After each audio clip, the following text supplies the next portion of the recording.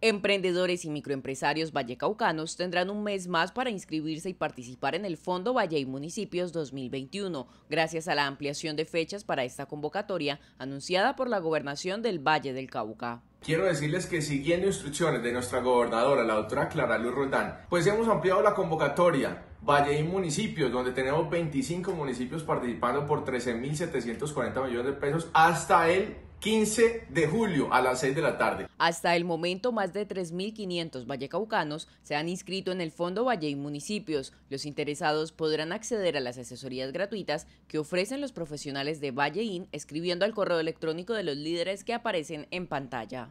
Eh, los municipios que más están participando son Bugalagrande, Candelaria, en este momento y Tuluá, pero los otros van ahí también trabajando.